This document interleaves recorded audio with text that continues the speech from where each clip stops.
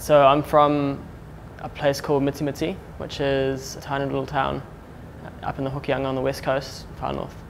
And I'm connected there through my mum um, and uh, my great great great grandfather, Atama Paparangi, was a paramount chief.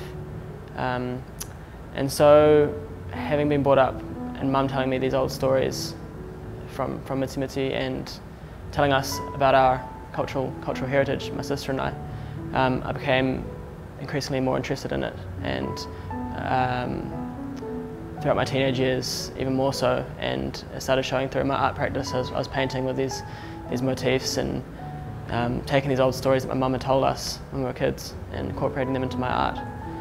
So I got into carving um, at the end of high school when my music teacher introduced me to traditional Māori music and I started making and playing taonga making them and putting a bit of carved embellishments on them. And um, it kind of sparked an interest for me which made me want to look for a carving course.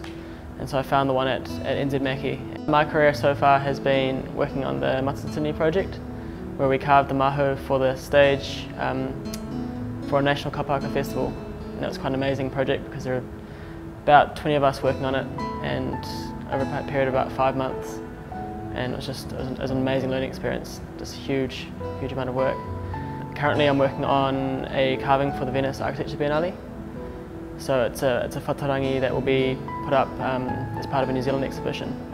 In my art practice, I don't think carving has to be an integral part of it and um, I'm interested in experimenting with a whole lot of different uh, medium and um, working with different subject matter and, and, different ideas and carving can be a part of it sometimes, sometimes it won't. I'd love to travel the world a bit and hopefully exhibit and, and make work all over the place. Um, hopefully study overseas as well, maybe do my masters and eventually come back home and um, carve my meeting house up north.